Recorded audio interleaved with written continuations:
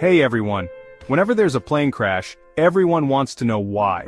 How can these things still happen, even with all the safety measures?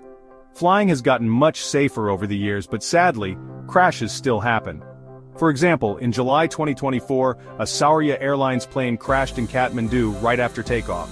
18 people died. What happened? Early reports suggested something might have gone wrong with the plane.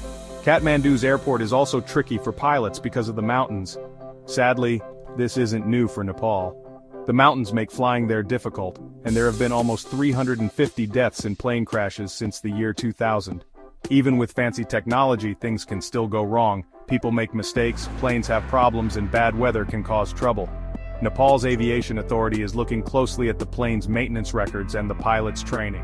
So the next time you fly, remember that making flying safe is a constant process. People are always working to make it even safer and prevent future accidents.